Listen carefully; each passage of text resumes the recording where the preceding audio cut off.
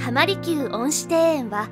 東京都中央区浜離宮庭園にある都立庭園です。江戸時代初期この場所は徳川将軍家の鷹狩りの場として利用されていました。1654年甲府藩主の徳川綱重がこの地を拝領し海を埋め立てて別邸を建てました。その後綱重の子である徳川家信が6代将軍に就任したため将軍家の別邸とされ浜御殿と改称しました。浜御殿は改修が続けられ8代将軍徳川吉宗の時代には食産の試験場となり200種を超える薬草の栽培や砂糖の試作などが行われました。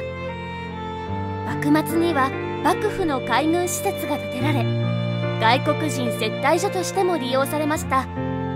ドイツ皇太子フリードリヒ3世やアメリカ大統領のユリシーズ・グラントが訪れたそうです。明治維新後浜御殿は宮内省の管轄となり名前も利休と改められましたが関東大震災と東京大空襲により大きな被害を受けました。1945年 GHQ の要求により浜離宮は東京都に下げ渡され都立庭園として開園。その後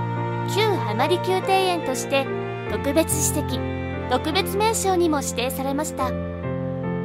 都内にある江戸の庭園では唯一東京湾の海水を引き入れた池があり潮の看板による眺めの変化を楽しむことができます。歴代将軍に愛された由緒ある日本庭園で自然と癒しを感じてください。